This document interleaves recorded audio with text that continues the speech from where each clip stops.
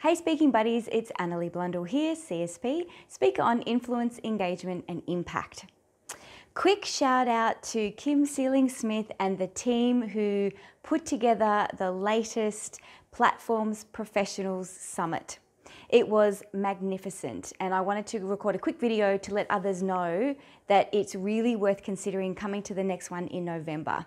Now, you've probably been to a number of these before, uh, but I wanted just to, I don't know, draw your attention to the fact that there was something really different about the one we just did. Not only was it online, of course, these are the times we live in, but there was something about the sense of community, the level and depth of connection and collaboration that occurred as a result of the way people were sharing and delivering and communicating in that conversation.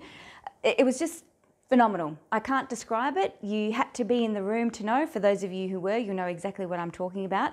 But really, this is a call to those who weren't in the room to make sure you're in the room next time. So I implore you to come along to the one in November. It will be worth your while. I know Kim has got a fantastic uh, agenda up her sleeve, and the speakers will be phenomenal. The connection and community will be phenomenal. So please come along if you can.